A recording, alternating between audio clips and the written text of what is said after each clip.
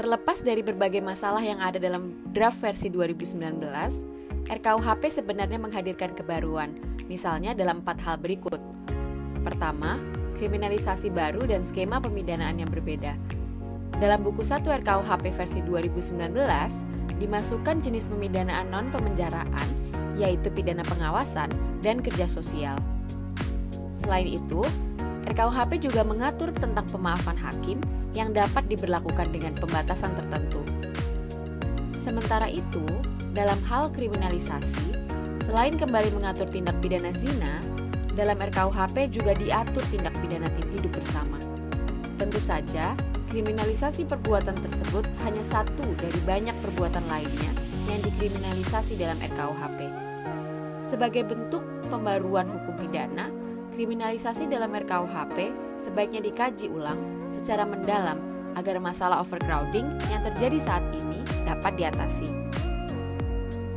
Dalam konteks kriminalisasi dan pemidanaan dalam RKUHP, Anugrah Rizky Akbari berpendapat bahwa kondisi overcrowding di rutan dan lapas sekarang tidak bisa dihindarkan dari proses punitif yang sudah mulai dari legislasi. Jadi, kita punya kecenderungan membuat tindak pidana, membuat tindak pidana baru, juga membuat banyak sekali bentuk pelanggaran, dan terakhir, kita juga punya sanksi penjara yang luar biasa favorit, termasuk sanksinya adalah alternatif kumulatif dan kumulatif. Jadi, sekalipun kita membangun penjara baru, kalau ini tidak di-stop, maka arus masuk tetap akan muncul. Kedua, diadopsinya hukum yang hidup dalam masyarakat yang akan berasal dari kompilasi peraturan daerah dalam peraturan presiden. Namun, berdasarkan catatan Aliansi Nasional Reformasi KUHP, pengaturan living law dalam RKUHP masih menimbulkan perdebatan dan akan menimbulkan kebingungan sebab makna tentang living law tidak diatur secara jelas.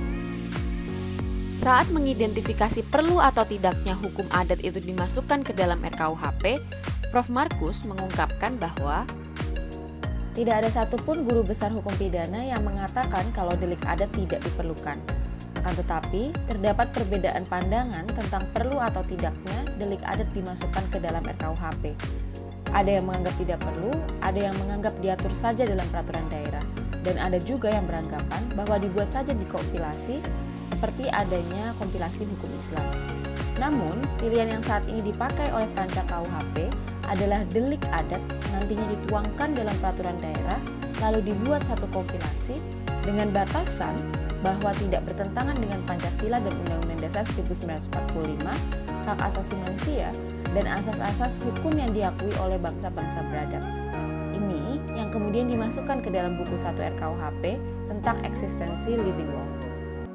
Ketiga, diperkenalkannya mekanisme masa tunggu atau masa percobaan terpidana mati yang membuka ruang adanya perubahan hukuman menjadi penjara seumur hidup. Dalam draft RKUHP versi 2019, komutasi ditentukan oleh hakim dan harus dinyatakan dalam putusan pengadilan. Padahal, komutasi tersebut seharusnya didapatkan oleh terpidana mati seandainya tidak dieksekusi dalam jangka waktu 10 tahun.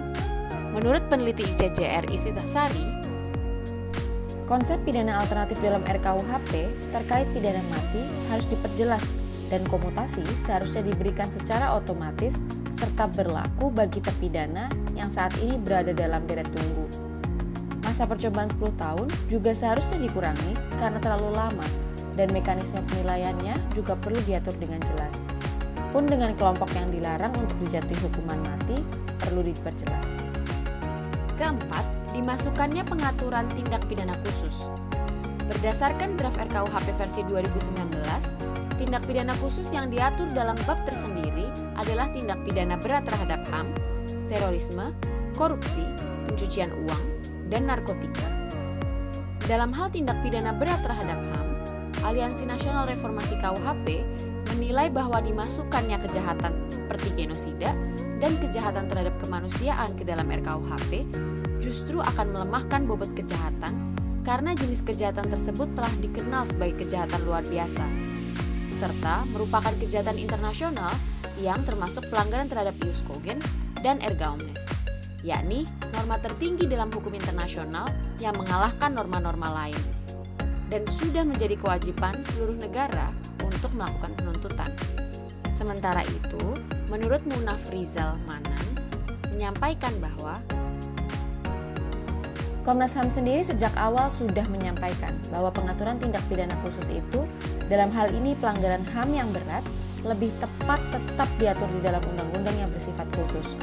Oleh karena itu, sebetulnya bagi Komnas HAM, yang mendesak dilakukan adalah perubahan atau penyempurnaan Undang-Undang Nomor 26 Tahun 2000, bukan memasukkan atau memindahkan ketentuan undang-undang tersebut ke dalam RKUHP. Selain empat hal tadi, tentu saja masih ada kebaruan lain dalam RKUHP yang tidak bisa dilepaskan dengan masalah-masalah yang belum selesai selama proses pembahasannya. RKUHP yang mengatur banyak hal seharusnya dibahas secara terbuka dan melibatkan banyak sektor. Sebagai bentuk pembaruan hukum pidana di Indonesia, penyusunan RKUHP mesti menggunakan basis data yang kuat sebagai justifikasinya. Pertimbangan untuk perlu atau tidaknya mengkriminalisasi suatu perbuatan harus dibahas secara serius dan terbuka agar tidak terjebak dalam bayang-bayang masa lalu. Mengkriminalisasi perbuatan yang seharusnya tidak dikriminalisasi akan berujung pada overkriminalisasi dan merawat masalah overcrowding di Indonesia.